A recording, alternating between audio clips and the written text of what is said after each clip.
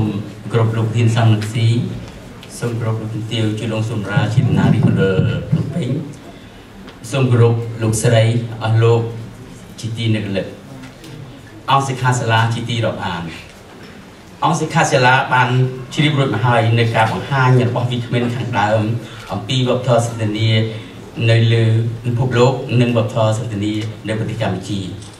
ដូចនេះយើងបានដឹងថា តើអ្វីទៅជាវប្បធម៌សន្តានាហេតុអ្វីបានជាយើងជ្រើសរើសយកវប្បធម៌សន្តានាដើម្បីដោះស្រាយបញ្ហារបស់ប្រទេសជាតិយើងហើយតើប្រជាពលរដ្ឋខ្មែរមានការយល់ឃើញនិងមានការជឿជាក់យ៉ាងណាចំពោះការប្រើប្រាស់វប្បធម៌សន្តានារបស់យើងខ្ញុំសូមការអនុញ្ញាតសរុបឡើងវិញបន្តិចយើងអាចនិយាយបានថាវប្បធម៌សន្តានាជាមធ្យោបាយ ឬជាជំរើសមួយដ៏ល្អប្រសើរដែលខ្មែរយើងធ្លាប់បាន អនុវត្តតាំងពីយូរណាស់មកហើយនៅពេលណាអ្នកដឹកនាំរបស់យើងប្រើវប្បធម៌ហិង្សាវប្បធម៌បង្កអរិយភាពចងកម្មចងពៀនឹងគ្នាគ្មានទីបញ្ចប់ដោយពាក្យថាទឹកឡើងត្រីស៊ីស្រមោចទឹកហោចស្រមោចស៊ីត្រី ដែលធ្វើឲ្យខ្មែរជាតិខ្មែរបែកបាក់ហើយចំណេញដល់ប្រទេសជិតខាង ដោយដែលប្រវត្តិសាស្ត្រយើងបានបង្ហាញស្រាប់គឺយើងខ្លាយពីប្រទេសមួយដ៏រុងរឿងទៅជាប្រទេសដែលក្រីក្រហើយទន់ខ្សោយពីប្រទេសមួយដ៏ធំទៅជាប្រទេសមួយដ៏តូចដែលស្ទើរតែបាត់ពីផែនទីពិភពលោកដោយសារការហែកហួរពីប្រទេសជិតខាង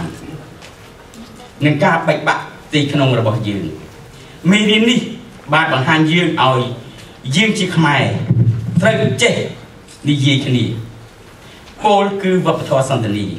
គឺជាជំរើសដើម្បីសន្តិភាពបង្ហាញពីពូជសាសន៍ដែលបានដែលមានវប្បធម៌ខ្ពស់ខ្ពស់ថាយើងអាចនិយាយគ្នាបានដើម្បីដោះស្រាយបញ្ហាជាតិដោយខ្លួនឯងដោយមិនចាំបាច់ពឹងបរទេសដែលធ្លាប់ធ្វើឲ្យយើងជួបតែវិនិស្សកម្មនិងការបែកបាក់ អង្គសិក្ខាសាលាជាទីមិត្តរីក្នុងនាមជាអ្នកតំណាងរាស្ត្រដែលយើងបានចុះមូលដ្ឋានជាប្រចាំដើម្បីពិភាក្សាជាមួយប្រជាពលរដ្ឋនិងសកម្មយើងសង្គមសកម្មជនរបស់យើងនិងសង្គមស៊ីវិលទាំងអស់យើងបានស្ទាបស្ទួងនិងសួរគាត់ថាតើពួកគាត់មានការយល់ឃើញ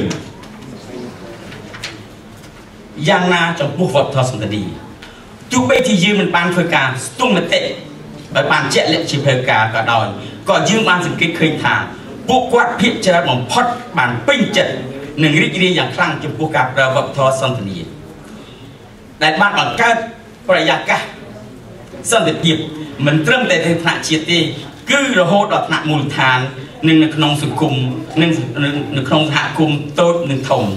នេះជាវប្បធម៌ទោះជាវប្បធម៌សន្តានានេះទើបតែនឹងបានចាក់ដើមអនុវត្តក្តី ក៏បានកាត់បន្ថយអរិយភាពក្នុងបរិយាកាសនយោបាយខ្មែរហើយវប្បធម៌សន្តានីសន្តានានេះទៀតសោតគឺស្របគ្នាទៅនឹងទស្សនវិជ្ជារបស់គណៈបក្សសង្គ្រោះជាតិដែលថា យើងមិនយកខ្មែរណាម្នាក់ជាសត្រូវទេព្រមទាំងស្របនឹងចរិតខ្មែរដែលជាពូជសាសន៍មួយមានវប្បធម៌អរិយធម៌ខ្ពង់ខ្ពស់អាចនិយាយស្ដាប់គ្នាបានទន្ទឹមនឹងនេះក៏មានប្រជាពលរដ្ឋមួយចំនួន ជំជាធាក់ថានៅមានការបារម្ភនិងខ្លាចថាយើងសុំកលុំឬត្រូវរើគ្នាដូចអ្នកនយោបាយមុនមុនយើងបានបញ្ញាចិត្តទាំងអស់គ្នានិងបញ្យល់ពួកគាត់យ៉ាងច្បាស់នៅតាមមូលដ្ឋានច្បាស់លាស់ថាវប្បធម៌សន្តានាជាជំរើសមួយដ៏អប្រសើរជាងគេសំស្រាប់នឹងស្ថានភាពបច្ចុប្បន្នភាពនិងកលៈទេសៈជាក់ស្ដែងរបស់ប្រទេសយើងដើម្បីកុំឲ្យមានការបែកបាក់ជាតិតទៅទៀត ល្មមដល់ពេលសង្គ្រោះជាតិយើង ដោយសន្តិភាពសាមគ្គីភាពនិងឯកភាពជាតិយើងបានឃើញហើយថាវប្បធម៌សន្តានាត្រូវបានស្វាគមន៍កោតសរសើរនិងគ្រប់គ្រងពីសំណាក់មជ្ឈដ្ឋានជាតិនិងអន្តរជាតិជាការពិតវប្បធម៌សន្តានាទាមទារនៅទេពកោសល្យខ្ពស់ទាមទារនៅការអត់ធ្មត់ខ្ពស់ក្នុងការពិភាក្សា ការសន្តានាប្រកបដោយវិចារណញ្ញាណសុចរិតភាពការអត់ឱនដល់គ្នានឹងគ្នាឈលលើផលប្រយោជន៍ជាតិដើម្បីដោះស្រាយបញ្ហាជាតិដើម្បីសង្គ្រោះជាតិពីឥទ្ធិពលបរទេសដោយសន្តិភាពនិងដើម្បីភាពរីកចម្រើនសម្រាប់ជាតិសម្រាប់កូនចៅជំនាន់ក្រោយយូរអង្វែងមិនមានសម្រាប់ប្រយោជន៍គុលប្រយោជន៍បាក់ឬប្រយោជន៍របស់ក្រុមណាមួយទេ គឺសម្រាប់ប្រយោជន៍ជាតិយើងទាំងអស់គ្នាតើយើងមានជំរឹះប្រសើរជាងនេះឬទេដោយមិនឲ្យមានការបែកបាក់ជាតិដោយមិនចាំបាច់ពឹងពាក់បរទេសដែលនាំឲ្យខាតប្រខាតប្រយោជន៍ជាតិសូមមេត្តាលើកទឹកចិត្តសូមអង្គសិក្ខាសាលាយើងមេត្តាលើកឡើងដើម្បីផាច់ផលប្រយោជន៍ជាតិរបស់យើងទាំងអស់គ្នាសូមអរគុណ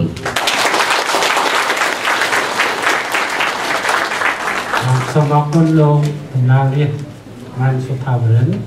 ដែលនិយាយអំពីការគ្រប់គ្រងរបស់មជ្ឈដ្ឋានជាតិយើងនៅប្រទេសខ្មែរបន្ទាប់ពីនេះ